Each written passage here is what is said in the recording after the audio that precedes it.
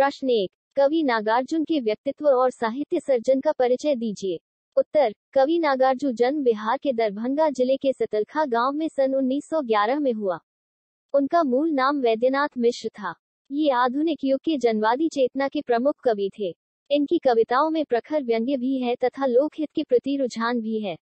शासन तंत्र की विसंगतियों, लोगों के अवसरवादी चेहरों तथा राजनीति की को लक्ष्य करके इनके तीखे प्रखर व्यंग्य है। नागार्जुन की कविताओं में भावुकता और कल्पना से अलग हटकर यथार्थपरक दृष्टिकोण दिखता है। इनकी साहित्य में रचनाएँ युगधारा, प्यासी पथराई आँखें, सत्रंगे पंखों वाली, तुमने कहा था, तालाब की मछलियाँ, आदि काव्य कृतियाँ हैं। बलचन माँ, रतिनाथ की चाची, कुंभी पाक, वरुण के बेटे, आदि उपन्यास हैं। घुमक्कर प्रवृत्ति के नागार्जुन का देहांत सन उन्नीस सौ अट्ठानवे में हुआ था।